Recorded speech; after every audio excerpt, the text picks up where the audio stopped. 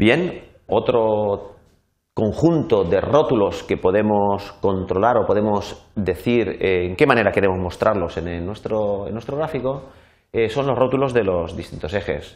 Tenemos dos ejes, el eje horizontal y vertical, y cada uno de ellos pues, puede tener algún rótulo que especifique pues, eh, de qué trata ese eje. Por ejemplo, aquí se ve muy claro que el eje horizontal son diferentes años, eh, pero bueno, podría decir eh, que el título del eje horizontal primario, que en este momento no está mostrando ninguno, pues, pues que lo muestre. Entonces aquí nos mostraría un título del eje. Nosotros aquí podemos decirle que en lugar de aquí, pues aquí podemos poner que estos son los años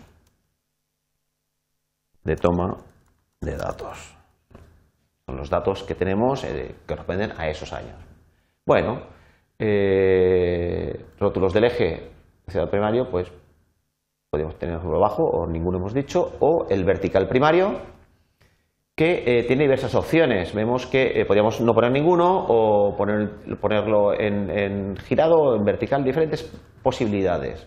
Por ejemplo, si lo ponemos el título en vertical, vemos que eh, la palabra que compone ese, título del eje está escrita en vertical, pero las letras están horizontales, ¿de acuerdo? Que es a diferencia del de, título girado, que sería que cada letra están bien escritas, pero toda la palabra la hemos girado y la hemos puesto en posición vertical.